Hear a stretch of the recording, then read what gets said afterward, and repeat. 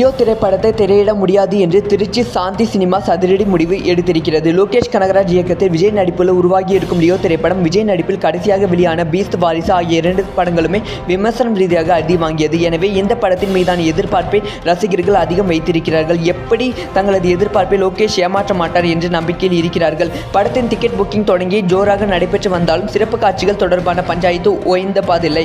சிறப்பு காட்சிகளுக்கான அனுமதி தமிழ்நாடு அரசு வழங்கினாலும் அந்த காட்சியை காலை ஒன்பது மணிக்கு தான் திரையிட வேண்டும் என்று கூறியது. துணிவு படத்தின் சிறப்பு காட்சியில் நிகழ்ந்த விபத்து தான் இதற்கு முழு காரணம் என்று கருதப்படுகிறது. அதிகாலை காட்சி தான் தங்களுக்கு வேண்டும் என்பதில் படக்குழு பிடிவாதமாக இருக்கிறது. அதன் காரணமாக பட தயாரிப்பு நிறுவனம் நீதிமன்றத்தில் சென்றது. ஆனால் நீதிமன்றமும் அதிகாலை காட்சியெல்லாம் வாய்ப்பே இல்லை என்று காலை ஏழு மணிக்கு சிறப்பு காட்சி வேண்டுமென்றால் தமிழ்நாடு அரசிடம் பேச்சுவார்த்தை நடத்திக் கொள்ளுங்கள் என்று தெரிவித்தது.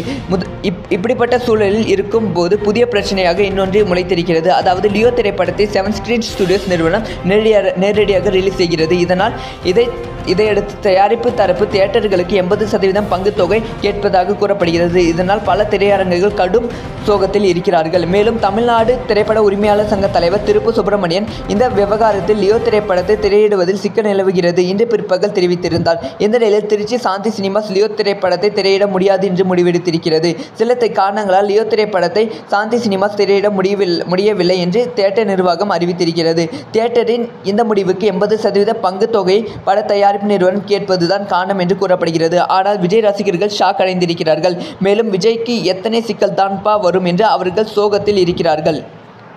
விஜய் நடிப்பில் லோகேஷ் கனகராஜ் இயக்கத்தில் உருவாகியிருக்கும் லியோ திரைப்படம் வரும் அக்டோபர் பத்தொன்பதாம் தேதி உலகம் முழுவதும் வெளியாக உள்ள நிலையில் பல்வேறு நெருக்கடிகளை சந்தித்து வருகிறது. இசை வெளியீட்டு விழா முதல் ட்ரெய்லர் வெளியீடு வரை அதற்காக ஏற்பாடு செய்யப்பட்ட நிகழ்ச்சிகளுக்கு அனுமதி வழங்காத நிலையில் தற்போது ரசிகர்களுக்கான நாலு மணி சிறப்பு காட்சிகள் தமிழக அரசு அனுமதி வழங்கவில்லை. இந்த நிலையில் திருச்சியில் செய்தியாளர்களை சந்தித்த நாம் தமிழர் கட்சியின் ஒருங்கிணைப்பாளர் சீமான் லியோ திரைப்படத்திற்கு நெருக்கடி கொடுக்கப்படுவதற்கு குற்றம் சாட்டியிருக்கிறார். இதுகுறித்து பேசிய அவர் தற்போது திரைத்துறை மொத்தமாக சிதைந்து போய் உள்ளது.